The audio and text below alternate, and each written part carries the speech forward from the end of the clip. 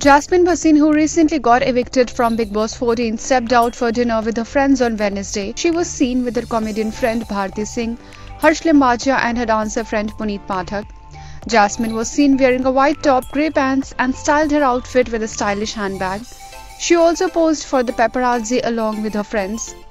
Jasmin also reacted to Salman's emotional breakdown. She said,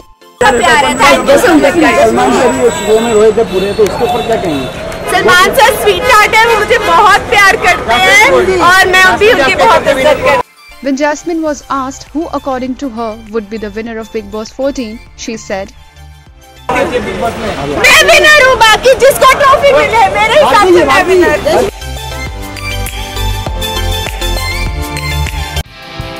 Subscribe to our channel. Just click on the bell icon for all the latest updates.